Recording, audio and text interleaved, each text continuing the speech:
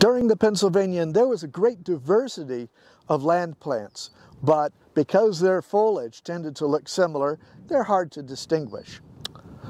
That brings us to an interesting point, and that is that the Carboniferous represents the first flowering, if you will, of land plants. There have been plants on land demonstrably since the Silurian, and maybe going back as far as the Cambrian. There are some interesting, suggestive possible fossils. Uh, but large plants, trees, didn't appear until the very end of the Devonian. So it's only going into the Carboniferous that we get the first forests. Well, forests are photosynthesizers that eat carbon dioxide and as you can see, carbon is being buried here by our glacial and interglacial cycles and give off oxygen.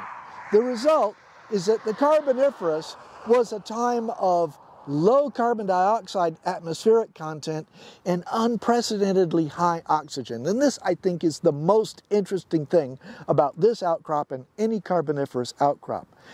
The Carboniferous could be called the age of oxygen. It is a time when atmospheric oxygen was at its all time high in concentration of roughly 30%. That's as opposed to about 20% today.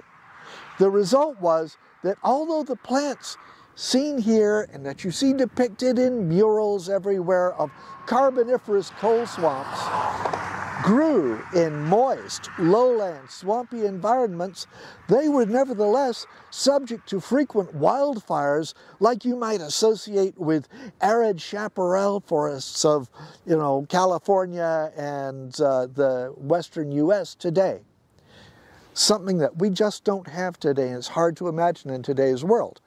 What else can you do with a high oxygen concentration in the atmosphere? Well, you can power big animals.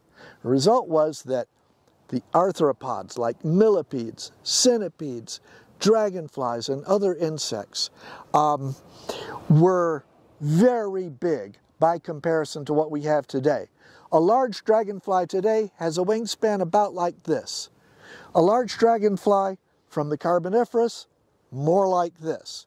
And how did they manage to sustain their metabolic activity at that body size? They needed the high oxygen concentration.